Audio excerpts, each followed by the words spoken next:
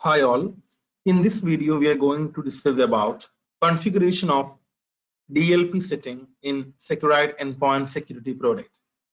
Now you're seeing my uh, Endpoint Security console. I'm just trying to log into that by providing my username and password. So I'm logging in with my administrator uh, credential and uh, I'm entering the password here. Yes, we are logging into uh, Seqrite Endpoint Security Console.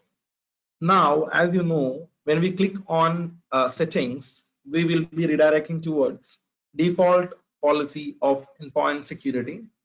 If you want some other policy settings other than default one to edit, then you need to go to clients. In clients, we can find manage policies. There we can see the policy list. And when you click on any of those policy, that particular policy will be available for you to edit. Here you can edit the policy name, policy description. As I said, we are trying to configure data loss prevention settings in this uh, video. So let's move to that particular policy. Here we can see DLP, data loss uh, prevention.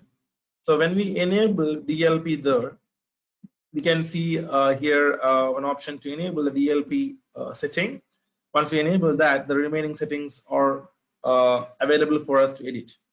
Now, uh, here it is showing display alert messages on DLP policy violation. So if you want any alert messages to be displayed, then you can select that option.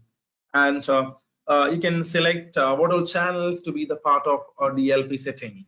We know that uh, data loss prevention is a feature which will block the transfer of sensitive data from your system to uh, some other people through various channels. That channels include uh, print screen, removable devices, network share, clipboard, printer activity, application online services.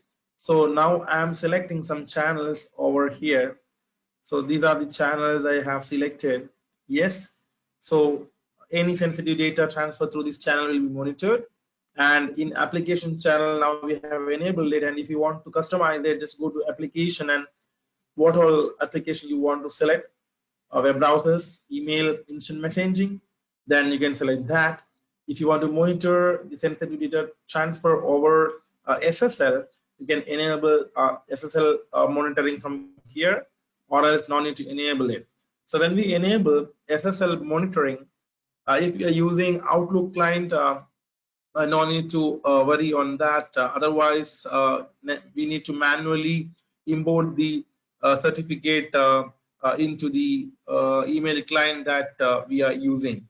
So that would be required. So you can click on yes if you want to continue with that, or else you can click on no any email client other than the Outlook require manual import of uh, uh, SSL certificate. Otherwise, uh, if it is Outlook, then automatically the certificate will be imported.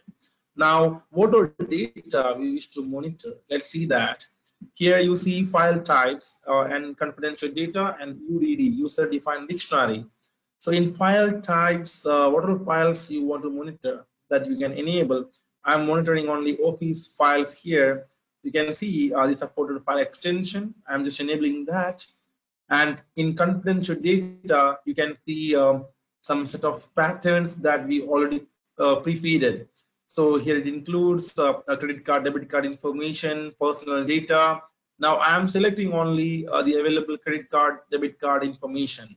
Then next, UDD. UDD is an area where we feed the sensitive data in it. So what are sensitive data you have that you can enable? Monitor uh, user-defined dictionary, and there you can see the uh, set of dictionaries available.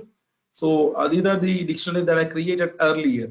If you want to create a new dictionary, then you need to go to admin settings, server DLP user defined dictionary, where you can save set of keywords and those will be available to you in the specific dictionary name in a policy.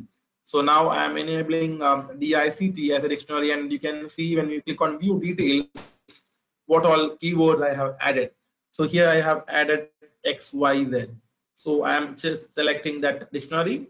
So any document or any file containing X, Y, Z, uh, even if it is uh, uh, a JPEG file that you are uh, using or a BMP file you're using, if it contains um, uh, XYZ keyword, we will not allow it to uh, transfer. Basically, we have one feature called OCR, optical character recognition, which is enabling uh, even the JPEG files or BMP files for scanning uh, for uh, the sensitive data. Now we are selecting that and I'm selecting the action as block and report. If you want just to report the incident, not to block that uh, transfer, no need to select uh, uh, block and report. Instead, you can go for a report, report only. Now, again, if you want to create an exception where you don't want to monitor, then you can create that. And normally uh, we support the exceptions for domain. So if you select that, any email domain that you entered, um, that would not be considered for monitoring. And the application that you selected would not be considered for monitoring. And the network path you added would not be considered for monitoring. So this is for excluding from DLP monitoring. And if you want to specify that, just go to admin settings server DLP where you can add domain name and application and network path which will be showing over here and you can enable and save that particular uh, policy uh, using this uh, save policy uh, button.